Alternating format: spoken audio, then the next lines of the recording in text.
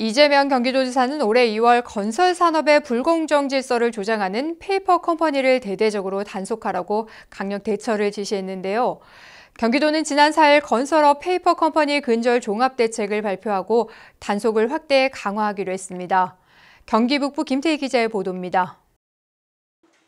경기도가 건설산업 공정질서를 흐리는 페이퍼 컴퍼니에 대한 단속을 실시합니다.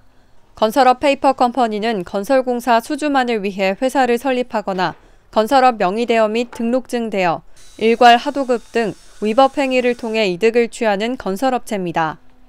이들 무등록 건설업체의 주된 시공 분야는 원룸이나 빌라 등 주로 서민들의 주거 공간으로 부실공사에 따른 서민층 피해가 가중되기에 그 폐해가 더욱 심각하고 엄중합니다.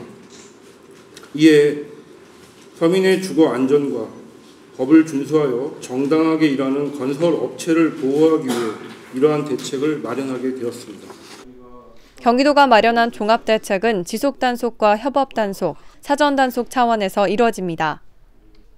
먼저 도는 5월과 9월 도내 등록건설업체 사무실 현장을 대상으로 단속을 실시합니다. 도는 실제 사무실을 방문해 자본금과 사무실, 기술자 수 등이 적정한지 고용보험 가입 여부와 적정임금 지급 여부 등을 중점적으로 살핍니다.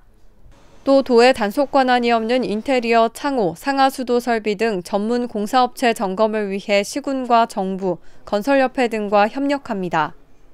마지막으로 계약 단계에서 도가 발주하는 광급공사 입찰업체를 대상으로 단속을 실시합니다. 도는 추정 가격 10억 원 이하 관급공사 입찰업체 가운데 적격 심사 대상에 오른 업체의 실제 사무실을 방문해 페이퍼 컴퍼니 유무를 가릴 계획입니다. 경기도는 이번 대책을 통해 지속적으로 근절될 때까지 강력한 단속을 통해 건설업계가 불공정, 부당 이득을 취하지 못하도록 최선을 다할 것입니다. 민선 7기에 공정한 건설 산업 환경이 정착될 수 있도록 노력하겠습니다. 도는 공익제보 한라인을 통해 건설업체와 도민들의 제보를 적극 활용할 예정입니다.